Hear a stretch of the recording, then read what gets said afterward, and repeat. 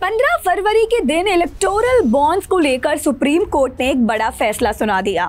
Supreme court ने चुनावी bonds को इलीगल बताते हुए नए बॉन्ड्स की खरीद पर रोक लगा दी है। कोर्ट ने कहा कि चुनावी बॉन्ड योजना आर्टिकल 19 ए और सूचना के अधिकार यानी आरटीआई का उल्लंघन करती है। तो क्या है ये आर्टिकल 19 ए और आरटीआई जिसके आधार पर सुप्रीम कोर्ट ने चुनावी बॉन्ड योजना को रद्द कर दिया? हेलो एवरीवन मैं हूँ नवमी और आप देख रहे हैं अनकट भारत सरकार ने इलेक्टोरल बॉन्ड स्कीम की घोषणा 2017 में की थी और 29 जनवरी 2018 से इस स्कीम को कानूनन लागू भी कर दिया था।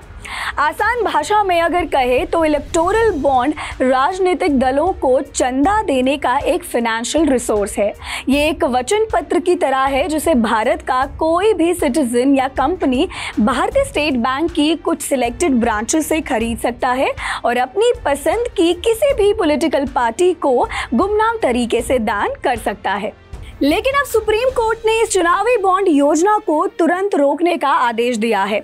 सुप्रीम कोर्ट ने स्टेट बैंक ऑफ़ इंडिया से कहा है कि वह तुरंत ही चुनावी बॉन्ड जारी करना बंद कर दे और साथ ही 12 अप्रैल 2019 के बाद खरीदे गए इलेक्टोरल बॉन्ड्स की डिटेल्स इलेक्शन कमीशन को सौंप दे।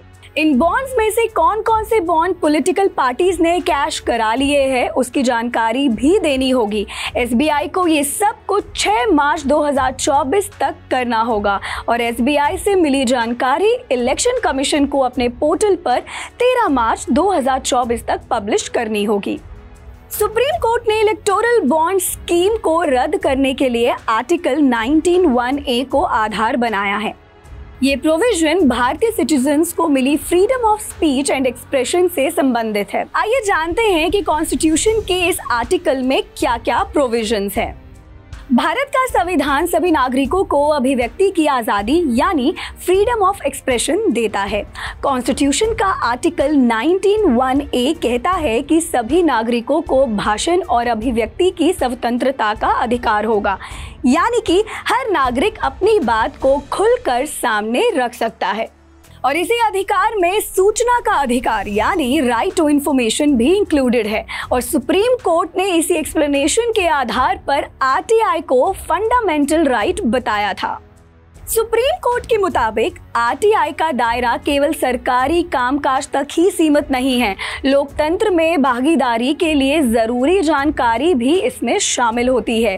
Chief justice of India D Y Chandrachud ने कहा कि वोटर्स सही फैसला कर सके, इसके लिए उनके पास पॉलिटिकल पार्टीज़ की फंडिंग के बारे में सही जानकारी होना ज़रूरी है। सुप्रीम कोर्ट ने यह भी कहा कि काले धन पर रोक लगाने के मकसद से राइट टू इंफॉर्मेशन के अधिकार का उल्लंघन करना ठीक नहीं है। तो इस जानकारी को लेकर आपकी क्या राय है, हमें कमेंट सेक्शन में ज़रूर बताइए। इस वीडियो को लाइक और शेयर ज़रूर कीजिएगा और ऐसे ही इंफॉर्मेटिव वीडियोस के लिए देखते रहें अनकट